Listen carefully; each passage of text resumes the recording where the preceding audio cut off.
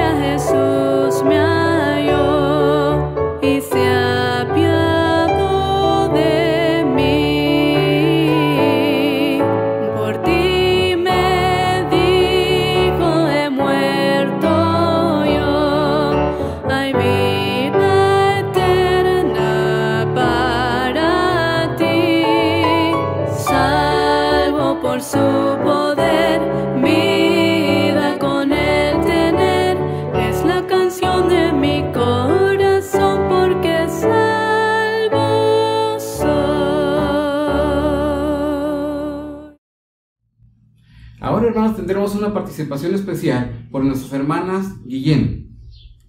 Nos da mucho gusto llegar hasta sus hogares y saludarlos e invitarles a que cantemos el himno número 280, Te cuidará el Señor.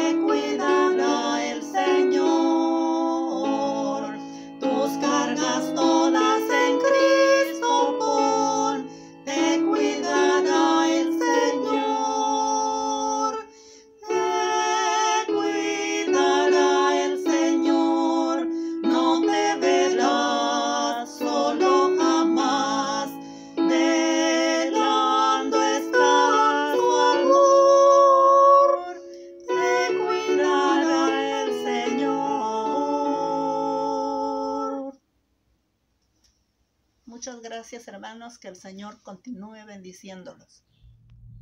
Muchas gracias damos al Señor por esta participación de nuestras hermanas. A continuación tendremos la predicación a cargo de nuestro pastor Isaac Sotomayor. Hola hermanos, buenos días. Nuevamente me da mucho gusto saludarles en este día del Señor. Espero que se encuentren bien. Gracias a Dios estamos bien también aquí en casa. Pues dispongamos a meditar la palabra de Dios juntos en familia, en la sala, o como les he dicho, probablemente en el comedor o en alguna parte, pero que todos estemos meditando en la palabra de Dios. Durante algunos domingos he estado predicando en la noche acerca de la primera carta a Timoteo una carta para un joven, le he llamado varias veces así. Carta para un joven, y en este caso carta para los jóvenes. Carta para cada uno de los jóvenes que me escuchan, porque ciertamente la carta era para un joven pastor, tanto la primera Timoteo como segunda Timoteo y la carta a Tito. Y hemos visto varios puntos en ellos. Era un hijo, un verdadero hijo en la fe, alguien que debería de militar la buena batalla o pelear la buena batalla, si anhelaba obispado, buena obra desea, pero era algo tan importante y tan, tan trascendental que debería de cumplir ciertos, ciertos requisitos. También hablamos en el capítulo número 2 de la necesidad de orar por aquellos que aún no conocen a Cristo. Hablamos hace ocho días acerca del cuidado de la familia, aunque fue muy difícil la transmisión de hace ocho días en la noche. Hoy hemos de leer el capítulo 6, no todo, pero una parte de él, y con ello concluiremos esta carta para los jóvenes. Y es mi oración que los muchachos en la iglesia puedan escucharla con atención, así como también todos nosotros. Dice el capítulo número 6 de la primera carta a Timoteo. Todos los que están bajo el yugo de esclavitud tengan a sus amos por dignos de todo honor para que no sea blasfemado el nombre de Dios y la doctrina. Y los que tienen amos creyentes no los tengan en menos por ser hermanos, sino sírvanles mejor, por cuanto son creyentes y amados los que se benefician de su buen servicio. Esto enseña y exhorta, que tiene que ver con el cuidado de la familia en la fe, lo que hace ocho días en la tarde meditamos. Pero los versículos tres en adelante cambian el tema Dice, si alguno enseña otra cosa y no se conforma a las sanas palabras de nuestro Señor Jesucristo y a la doctrina que es conforme a la piedad, está envanecido, nada sabe y delira acerca de cuestiones y contiendas de palabras, de las cuales nacen envidias, pleitos, blasfemas, malas sospechas, disputas necias de hombres corruptos de entendimiento y privados de la verdad que toman la piedad como fuente de ganancia, apártate de los tales. Pero gran ganancia es la piedad acompañada de contentamiento, porque nada hemos traído en este mundo y sin duda nada podemos sacar. Así que, teniendo sustento y abrigo, estemos contentos con esto, porque los que quieren enriquecerse caen en tentación y lazo, en muchas codicias necias y dañosas, que hunden a los hombres en destrucción y perdición, porque raíz de todos los males es el amor al dinero, al cual, codiciando algunos, se extraviaron de la fe y fueron traspasados de muchos dolores. Hagamos oración, hermanos. Padre, en el nombre de Cristo te doy muchas gracias porque nos permites en este día, día del Señor, reunirnos en casa, cantar a tu nombre, elevar nuestra gratitud, nuestras oraciones, teniendo la certeza que a lo largo y ancho de la ciudad muchos de los hermanos de nuestra familia de la fe, y también en otros lugares, en otros países, en otros estados, muchos están, Señor, glorificando tu nombre. Concede que la iglesia en casa sea utilizada para tu honra y tu gloria, para la edificación de tu pueblo, y también, Señor, para el testimonio de aquellos que aún no te conocen. Guíanos en la meditación de tu palabra, y te ruego que tengas la bondad de perdonar nuestros pecados. Lo ruego, Señor, encarecidamente, que la luz de tu Espíritu sea en la vida de cada uno de nosotros. Por Cristo Jesús te lo ruego. Amén. En las dos cartas que el apóstol Pablo escribe a Timoteo, le dice en cada una de ellas, huye. La más conocida y, que se repite constantemente para los jóvenes es huye de las pasiones juveniles, segunda Timoteo capítulo número 2 versículo 2. La palabra pasiones que utiliza allí también implica la concupiscencia, lujurias y deseos desmedidos. Pero por el contexto de, de segunda Timoteo capítulo número 2, vemos que no se está refiriendo exclusivamente ni principalmente a los deseos sexuales que por supuesto todos debemos de huir de ellos. Y específicamente se le dice a este joven huye de las pasiones, pero no hace referencia principalmente a ello, sino como joven pastor, él debería de huir del amor al dominio de los demás, al orgullo oculto, a la ambición profesional, a la impaciencia pastoral, o el deseo de fomentar contiendas. Huye de estas pasiones. Y de manera semejante en la primera carta le dice, Mas tú, oh hombre de Dios, huye de estas cosas. Capítulo 5, versículo 11, que no leí, pero que dice así. Mas tú, oh hombre de Dios, huye de estas cosas. Sigue la justicia, la piedad, la fe, el amor, la paciencia y la mansedumbre ¿Y cuáles cosas, preguntaríamos, de cuáles cosas le está diciendo el apóstol Pablo que huya? Otra vez, el contexto nos muestra que se trata de querer enriquecerse y hacer el dinero del dinero su máxima ambición, lo cual, como leímos, ya algunos habían hecho y se habían extraviado de la fe, porque raíz de todos los males es el amor al dinero, el cual codiciando algunos se extraviaron de la fe. Ya era una realidad en algunos lugares o en algunas iglesias con algunos que habían profesado la fe y fueron traspasados de muchos dolores. Como ya sabemos, el problema no está en el dinero en sí mismo, sino el amor al dinero. Eclesiastés 5.10 dice algo muy semejante. El que ama el dinero no se saciará de dinero. El que ama el mucho tener no sacará fruto. También esto es vanidad. Por ello el apóstol Pablo les dice a los ricos, no pongan su esperanza en la riqueza, sino únicamente en el Dios vivo, el cual es quien nos da todas las cosas y nos da todo lo necesario para que lo disfrutemos. No es en sí el dinero, es la providencia divina. Es un asunto sumamente importante la riqueza que alguien puede tener producto de su trabajo honesto, el esfuerzo, el ahorro, la sana administración, proviene de Dios. Aun con todos, esos elementos, un trabajo honesto, el ahorro, la sana administración, el gran esfuerzo, aun con todo ello, los creyentes sabemos que todo esto proviene de Dios y por ello esa riqueza bajo el control del, Espíritu Santo o el hombre con esa riqueza o con esa prosperidad económica, el hombre bajo el Espíritu Santo debe de ser alguien que genere riqueza en buenas obras, riqueza en dádivas, en generosidad y riqueza en hacer toda clase de bien. He leído un libro, un pequeño libro titulado Radical, que escribe el pastor David, David Platt, donde él dice que muchos de sus miembros, que son empresarios y profesionistas y hombres de negocios, han comprendido por la luz de las escrituras y por la guía del Espíritu Santo que todos esos bienes y todas esas capacidades que Dios les ha dado en esa iglesia deben de ser utilizadas para ministrar a otros que principalmente no conocen del Señor y que tienen necesidad. Y lo han hecho tanto en su ciudad como en otros países.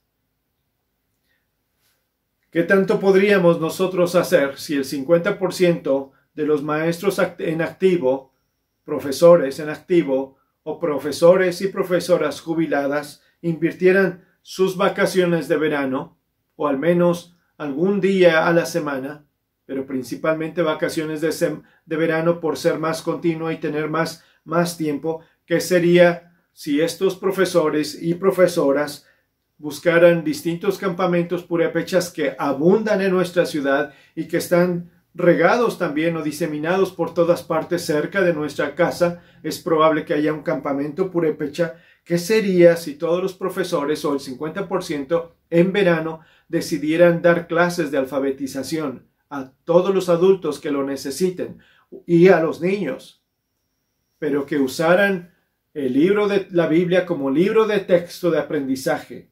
Imagínense aprender a un adulto, aprender a leer a un adulto en la palabra de Dios. No sería la primera vez porque siglos atrás ya se ha enseñado a leer con la palabra. Pero qué impacto sería en la vida que conocieran la escritura, pues ustedes saben que la fe proviene del oír. Y aquí, aquí diríamos, provendría también de leer y de estudiar, aprendiendo la escritura. ¿Cuánto bien podrían hacer que un grupo de enfermeras, ya sea jubiladas o en activo, también se dispusieran a estar allí con las mujeres purépechas para darles algunas charlas de cuidado de salud, de aseo personal y familiar, porque lo necesitan también. O alguna nutrióloga para sacar el máximo provecho de los alimentos que ellos tienen. Eso sería acumular tesoros en los cielos. Y bien saben que no hablo de que por esas obras tenemos ingreso al reino de los cielos, jamás, porque no es por obras, sino que por la salvación que ya tenemos, por la gracia que ha derramado en nuestras vidas, por los talentos que nos ha dado, por las capacidades que ha provisto a nuestro ser, las usáramos y fuéramos ricos en buenas obras. Cuánta edificación y cuánto gozo también, gozo santo en nosotros que el, Espíritu Santo produciría de estar sirviendo al Señor. Una cosa es segura, hablando de la riqueza que el apóstol Pablo está dirigiendo a, ti, a Timoteo y él lo iba a dirigir a la iglesia. Una cosa es segura, dice el capítulo 5, versículo 7 de, de 1 Timoteo. No, estoy equivocado, perdón. Pero la escritura dice, Nada hemos traído a este mundo y sin duda nada podemos sacar. Es el capítulo 6, perdón. Acabamos de leerlo. Capítulo 6, versículo 7. Porque nada hemos traído a este mundo y sin duda nada podemos sacar. Y esto es también muy parecido a lo que Dios dice en el libro de Eclesiastés capítulo 5 versículo 15. Como, las, como salió del vientre de su madre, desnudo, así vuelve, yéndose tal como vino, y nada tiene de su trabajo para llevar en su mano. Nada tiene de su trabajo, de todo lo que hizo, para llevar en su mano. Como salió del vientre de su madre, desnudo, así vuelve, yéndose tal como vino. Bien lo sabemos esto, hermanos. Nada podemos sacar de este mundo. Así que con estos dos versículos también se nos habla del desapego con el que debemos vivir respecto a las cosas materiales. Qué bueno que podemos tenerlas, qué bueno que tenemos un trabajo, qué bueno que podemos tener algunas comodidades, pero debe haber un desapego a ellas, no aferrarnos a ellas, usarlas para la honra y gloria de Dios. Nuestro contentamiento es nuestro Dios. Nuestro contentamiento es su gracia en nuestra vida. Nuestro contentamiento es la presencia de, del Espíritu Santo en nuestro ser. Nuestro contentamiento es la salvación que Cristo Jesús nos ha dado. Ese es el contentamiento del creyente. Por ello Mateo deja todo cuando es llamado al ministerio. Por eso Saqueo también dice, doy la mitad de mis bienes. Y de ahí en adelante muchos discípulos del Señor teniendo un desapego a lo material porque han encontrado la gran riqueza. Recuerden las parábolas de la perla de gran precio o el tesoro escondido. Aquel que ve una perla de gran precio vende todo para adquirirla. Y aquel que encuentra en el campo un tesoro vende también lo necesario para comprar ese terreno y quedarse con ese gran tesoro. Nuestra más grande posesión, si puedo decirlo de esa manera, es la gracia que tenemos de parte de Dios la comunión que nos brinda, la luz de su espíritu, la su palabra, el medio de gracia que es la oración en comunión con Él, la, la salvación en Cristo Jesús. Me llama la atención en lo que hemos leído que dos veces utiliza el término contentamiento. Versículo número 6, 6, 6. Pero gran ganancia es la piedad acompañada de contentamiento. Y también en el versículo número 8, así que teniendo sustento y abrigo, estemos contentos con esto. Dos veces, hermanos, estemos contentos. ¿Cuántos de los jóvenes están contentos? ¿Cuántos de nosotros que estamos meditando estamos en contentamiento? ¿Es una realidad que podemos estar contentos? Gran ganancia es la piedad acompañada de contentamiento. Los hermanos adultos mayores, los ancianitos, estarán contentos en el estado en el que están. Ciertamente hay muchos ancianitos que están enfermos, pero ¿podrá uno en medio de la enfermedad tener el contentamiento y el gozo que el Espíritu Santo produce? Definitivamente sí. Definitivamente sí. Nuestras familias estarán en contentamiento, su hogar estará en contentamiento y en dicha, porque en contentamiento también es en dicha y en buena relación y en buena comunión. Es mi oración que así sea y debe de ser nuestro anhelo y nuestra oración. En Cristo podemos estarlo y debemos estarlo. Ciertamente son estos son tiempos de dificultades económicas para la mayoría. ¿Podemos estar contentos y en contentamiento? Mi esposa y su servidor tienen, tenemos una amiga que hace unos días nos decía que ha estado muy difícil el trabajo y que ha habido en estos tres meses dificultades para aún alcanzar a tener lo de la renta, que seguramente no es la única entre, los, entre las familias de la fe, entre los creyentes en nuestro país, en nuestra ciudad. Pero también nos dijo, eh, algunas veces he estado angustiada o preocupada y hago oración. Y en el momento, un día antes, me resulta un trabajo y es justo lo que necesito para pagar la renta. Justo lo que necesito. Dice, no me ha faltado alimento, no me ha faltado el, la ropa, lo tengo y el Señor ha estado allí. Pero podemos estar con contentamiento, pues la escuchamos reír cuando nos decía esto y afirmar que la presencia del Señor siempre estaba allí con ella. Dios, porque Dios quiere que vivamos en contentamiento. Dios quiere que vivamos en contentamiento con su presencia, con su gracia, por la obra redentora y la presencia del Espíritu Santo con su palabra. Es gran ganancia. Así lo dice la Escritura. Pero gran ganancia es la piedad acompañada de contentamiento. ¡Qué combinación tan asombrosa! Uno, piedad. Dos, contentamiento. Y bien sabemos que piedad es una vida temerosa de Dios, una vida de obediencia, de respeto a sus normas, una vida justa, de amor a sus principios, a sus caminos. Es amor y deleite a su palabra y amor y deleite a la oración. Es gozar del fruto del Espíritu. Ya habíamos mencionado anteriormente que el apóstol Pablo le dice a, Timoteo que la piedad para todo aprovecha. Es el texto muy conocido. El ejercicio corporal para poco es provechoso, pero la piedad para todo aprovecha, pues tiene promesas para esta vida, para esta vida y para la venidera. Gran, gran ganancia. Promesas para esta vida y para la venidera. ¿Qué empresario no busca ganancias. ¿Qué hombre de negocios no busca ganancias? Pues entonces no sería hombre de negocios, no sería un, un empresario. Siempre un empresario y un hombre de negocios busca ganancias en lo que hace.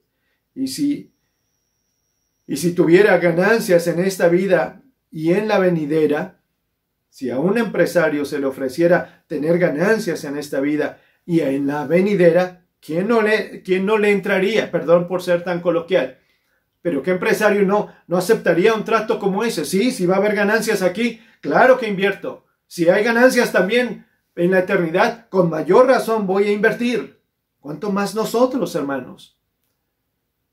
Que no somos ciertamente empresarios. Hemos sido redimidos. Y la escritura nos dice gran ganancia, no pequeña ganancia, gran ganancia. Es la piedad y acompañada de contentamiento. ¿No es una vida piadosa aquella que busca primero el reino de Dios y hace su voluntad? Y promesa para esta vida es, ¿y todas las cosas le serán añadidas? ¿No es gran ganancia una, no, o no es una vida piadosa aquel, aquella de de un hombre o de una mujer que ama a Dios con todo su ser y tiene promesa para esta vida, porque al que ama a Dios, todas las cosas le ayudan para bien. ¿No es acaso una vida piadosa vivir de manera justa? Y la promesa para esta vida es que no hay justo desamparado, ni su simiente que mendigue pan. Fíjense entonces estos tres versículos que conocemos muy bien. Habla de una vida piadosa. Busca primero el reino de Dios y a su voluntad o su justicia. Es ama al Señor, los que aman a, los que aman a Dios. Y también vivir de una manera justa, porque los justos, dice, no he, no he conocido justo desamparado. Y los tres versículos tienen promesa para esta vida. De por sí, gran ganancia ya hay en una vida piadosa ¿Cuánto más si, le añadimos contentamiento? Concédeme, Señor, no solamente vivir una vida piadosa, sino en medio de esa vida piadosa, el contentamiento en la situación en la que esté satisfecho, lleno de dicha, de felicidad, con un sentido de suficiencia en ti, porque en Cristo somos suficientes. Él lo llena todo. Tanto en tiempo de escasez como en los tiempos de abundancia, debemos tener contentamiento porque hay algunos que tienen abundancia y aún a pesar de tener, no están contentos. Pues bien sabemos que el contentamiento viene por la obra de Cristo en nuestras vidas que nos da comunión. Es la obra de Cristo en el interior, morando en el ser, en una comunión de amistad con Él. El contentamiento es provocado por el Espíritu Santo al dar en el interior paz, paz que se desborda como un río. Es el contentamiento provocado por el Padre, que como dice Isaías capítulo número 66 versículo 12, nos mima, así dice literalmente, nos mima en sus rodillas, que no es otra cosa que nos mece o nos acaricia en sus rodillas. Les pregunto, ¿el apóstol Pablo viviría una vida piadosa? ¿Tendría una vida de contentamiento? Y respondo, por supuesto que sí y por ello pudo decir y escribir a los filipenses, sé vivir humildemente y sé tener abundancia. En todo y por todo estoy enseñado, así para estar saciado, como para también, o como para tener hambre, así para tener abundancia, como para padecer necesidad. Y las palabras que bien sabemos, todo lo puedo en Cristo que me fortalece.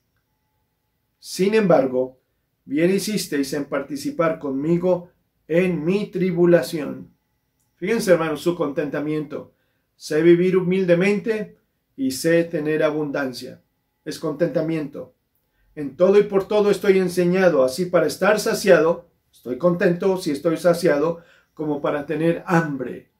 Y no hablo de estar solamente eh, eh, un gozo fingido en medio de la necesidad sino porque sabemos que Él está presente en medio de nuestra necesidad y que Él tiene propósitos para nuestra vida y que nada sale de su soberanía, podemos estar confiados, podemos estar satisfechos, sintiendo, sintiendo y teniendo suficiencia solamente en el Señor. Aunque también el apóstol Pablo añade, sin embargo, bien hicisteis en participar conmigo en mi tribulación o sea, sí puedo estar en estas situaciones. Estoy enseñado para estar en, en cualquier condición. Pero bien hiciste en participar o en tener cuidado conmigo en mi tribulación o en mis necesidades. No se niega a recibir la ayuda. Bien hiciste. ¿Habrá un joven o señorita que esté viviendo con desasosiego o inquieto en este tiempo?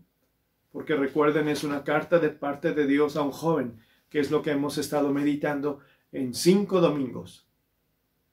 Habrá un joven o alguna señorita que esté en desasosiego y con inquietud. O también un adulto en este momento, o un anciano.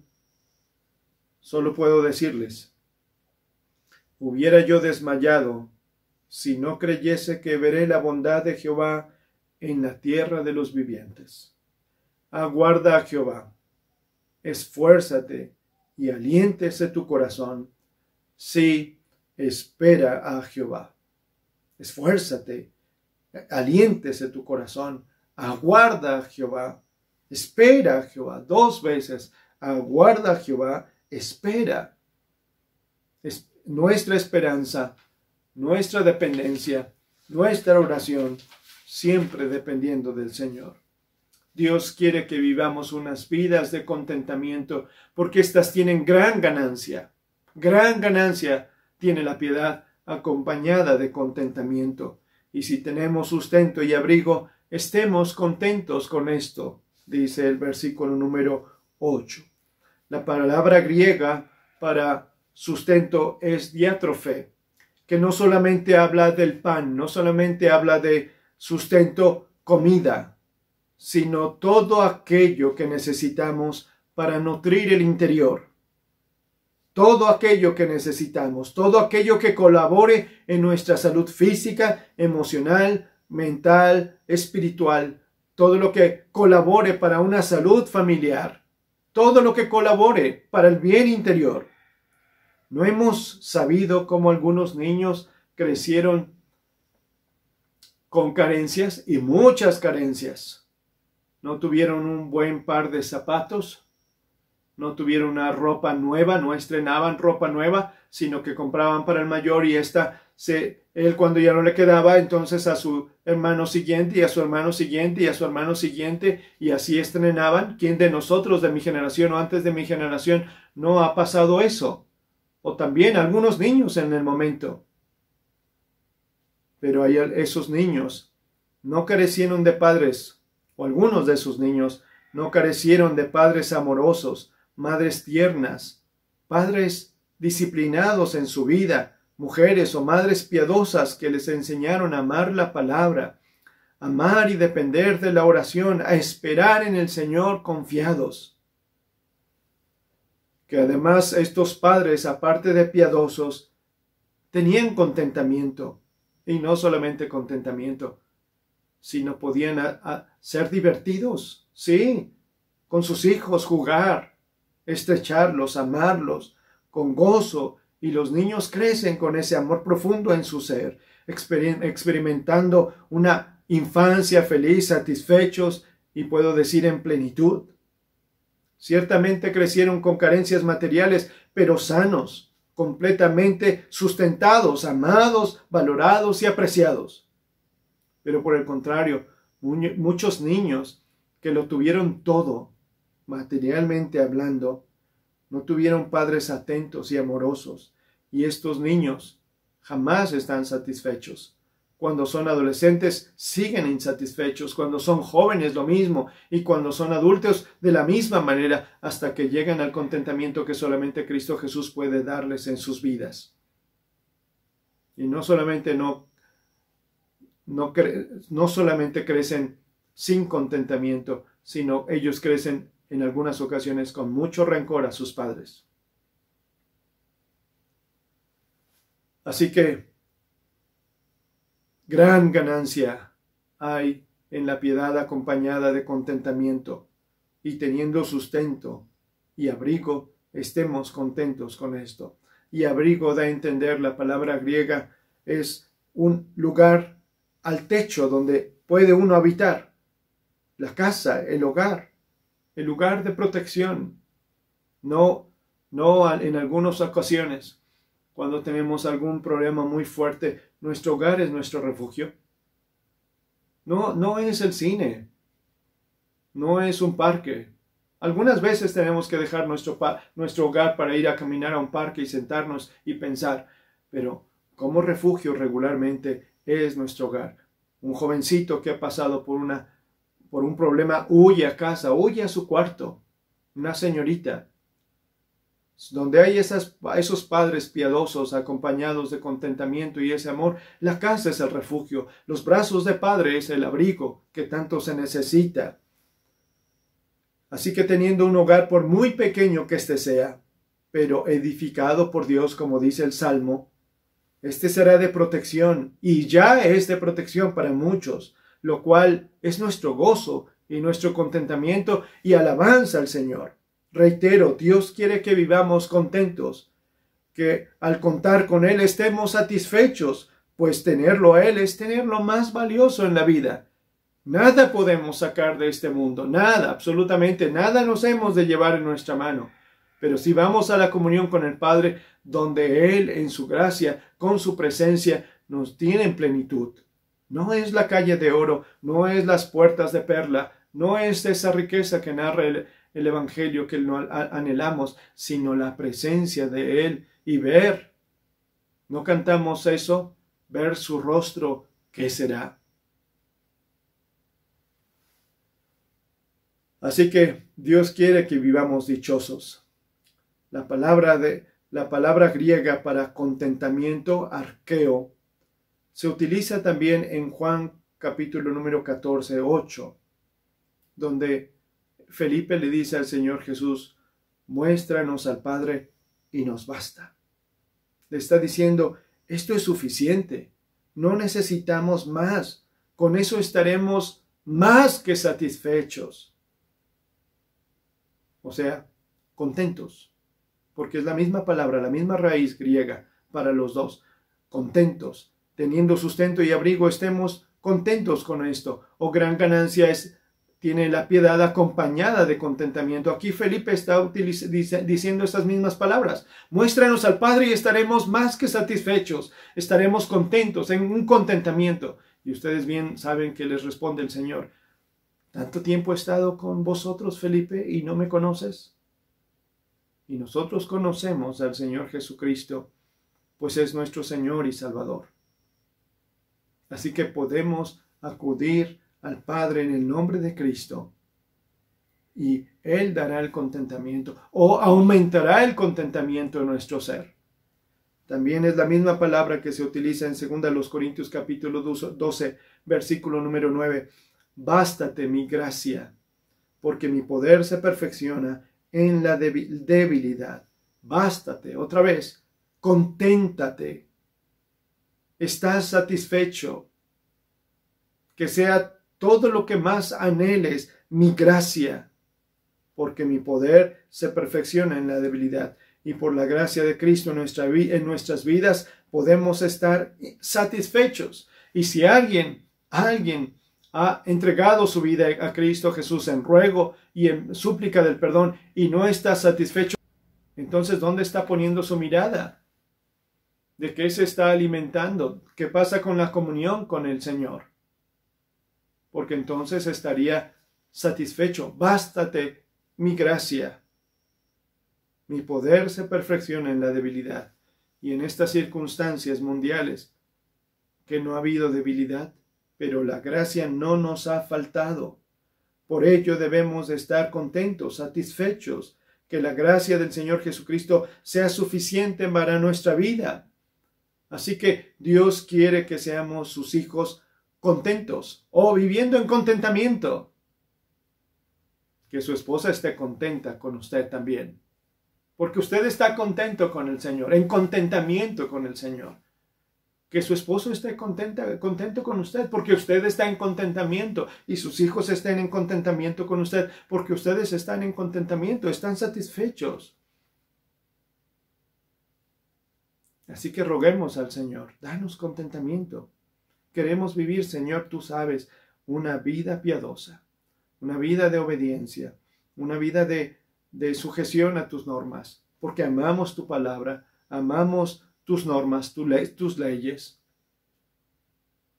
pues concédenos vivir también en contentamiento y gran ganancia habrá en nuestras vidas. Muchachos, vuelvo, esta carta es para los jóvenes y el contentamiento está siempre en el Padre. Les dije hace unos domingos atrás que George Muller de Bristol, o Jorge Muller de Bristol, aquel hermano en la fe, que fundó muchos orfanatos en la ciudad de Bristol, eh, tenía la costumbre de, cuando un niño cumplía la edad suficiente, ya una edad de adolescencia, y que no podía permanecer más en, en, las, en, en, los, en los albergues, en los orfanatos, entonces tenía una entrevista. Todo niño que había crecido ahí o que había estado ahí por mucho tiempo, cuando ya por su edad no podía, era entrevistado por Jorge Müller y lo llevaban a su oficina. Ahí Jorge Müller lo despedía. Le hacía saber que él iba a ser sustentado por un año todavía por el ministerio de, de, Jorge, de Jorge Müller. El niño no se iba sin un centavo. Claro, no le daban todo el dinero para un año, pero le hacían llegar siempre lo necesario para su mesada. Además salía con un oficio, ya sabía algo que hacer, porque en los orfanatos les enseñaban tanto a las niñas o a los niños a tener un oficio. Y si necesitaba ser aprendiz, pagaban ese tiempo de aprendizaje con un oficio, un año de sustento, con un oficio y con trabajo para perfeccionar ese oficio. Pero entonces George Mueller tomaba dinero en su mano y le decía al muchacho, extiende tu mano, tu mano derecha, y en ella ponía la Biblia. Y después le decía, extiende tu mano izquierda, y en ella ponía una moneda. Y añadía, lo que está en tu mano izquierda nunca te va a faltar si siempre tienes en tu mano derecha la palabra de Dios. Así de sencillo, hermanos. Así de sencillo, muchachos. Lo que tienes en tu mano izquierda, una moneda, nunca te va a faltar si tienes en tu mano derecha la palabra de Dios. Fíjense qué sencilla lección. la palabra de Dios en tu mano, en tu corazón, en tu mente, viviendo para Él, y el Señor ha de proveer y no te ha de faltar. Porque Dios sostuvo todos esos orfanatos donde tenían dos mil niños albergados, siempre sostuvo por medio de la fe en Él. Nunca anduvo pidiendo dinero George Bristol. Cuando había necesidad, nunca se lo pedía a un empresario o a alguien, al gobierno. Siempre oraba, Señor, tú vas a proveer, y así lo hacía. Se conoce como un hombre de fe, y así que quería enseñarles a los niños, confía en la palabra, vive en la palabra, ama la palabra, que es amar al Señor, su camino, sus normas, su vida, ser salvo en Cristo Jesús, y nunca te faltará lo de tu mano izquierda. Teniendo, dice, gran ganancia hay en la piedad, acompañada de contentamiento. Que Dios dé contentamiento en nuestras vidas. Que Dios les bendiga, hermanos. Me da mucho gusto saludarles. Disculpen si se escuchó algún ruido, pues ustedes saben, eso no lo podemos controlar en las casas. Vamos a orar y roguemos al Señor que aumente nuestro contentamiento. Padre, en el nombre de Cristo te doy muchas gracias porque nos concedes meditar en tu palabra. Gracias porque hemos leído Primera Timoteo y hemos meditado de ella capítulo por capítulo. Te damos gracias porque eres un Dios que buscas que tu pueblo esté en contentamiento. Quieres que tus hijos vivan en contentamiento, satisfechos en ti, Señor, en ti, en la suficiencia que tenemos en Cristo Jesús que lo llena todo. Te imploro que tu Espíritu Santo nos, guíe a vivir en una vida de, de gozo, de contentamiento, Señor. Te lo ruego tanto niños como jóvenes, como adultos, como ancianos. Que nuestro hogar sea un lugar donde hay contentamiento. Pero Señor, que esto dependa también de la piedad en la que vivimos. Te lo ruego encarecidamente. Bendice a la iglesia, bendice a los que están meditando en sus hogares. Tú sabes si hay alguna necesidad y te ruego que suplas. Te lo ruego, Señor.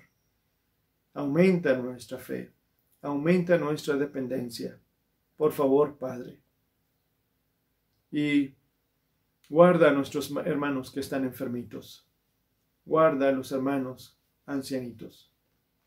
Que tu poder intervenga en sus vidas. En nombre de Cristo Jesús. Amén. Gracias hermanos. Que Dios le bendiga. Me da mucho gusto saludarles desde casa. Hasta pronto. Le damos gracias a Dios por su mensaje expuesto. Gracias al Señor porque siempre tiene palabra de aliento para cada uno de nosotros. Ahora les invito a abrir nuestros seminarios para entonar el himno 314, por Cristo de los Reyes Rey.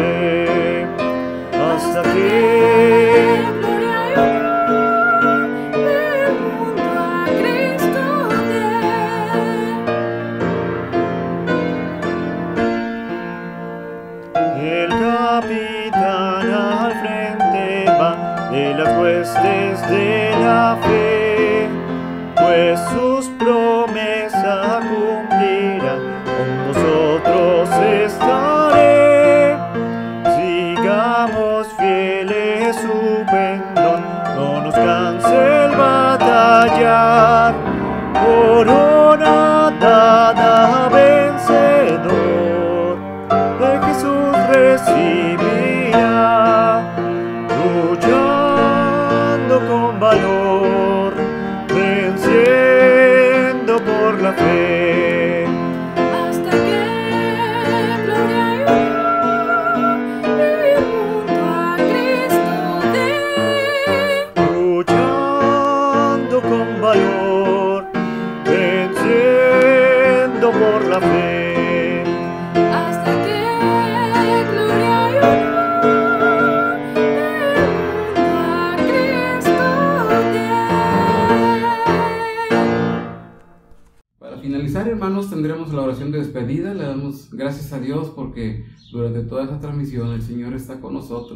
Y pedimos que sigan adelante, que sigan teniendo los cuidados necesarios, hermanos, para que puedan estar bien de salud. Vamos a orar, hermanos. Padre Celestial, te damos gracias, Padre bendito, porque tú nos has permitido en esta tarde, Señor bendito, estar en comunión contigo, escuchando los cantos tan hermosos, esos himnos, Padre Celestial. Te pedimos que tú bendigas a cada uno de nuestros hermanos, Señor. Si algún hermano tiene alguna necesidad, Padre Celestial, te pido que tú los bendigas, que tú les suplas esa necesidad, Señor. Si están pasando por dificultades en el hogar, Señor, también te pido que tú obres en cada matrimonio, en cada hogar, Señor. Te sabemos que es un poco difícil, Señor, todo ese tiempo de encierro que ha habido, Señor, pero es muy necesario, Padre Santo, para que puedan ellos estar bien físicamente, Padre Celestial. Te pido que bendigas a nuestro pastor, bendigas a cada uno de mis hermanos, Señor, ya mayores también. Te pedimos que tú seas con cada uno de nosotros, Señor. Damos gracias por todo en el nombre bendito de nuestro Señor Jesucristo. Amén. Ahora escucharemos un postludio, hermanos, y quedaremos despedidos al finalizar.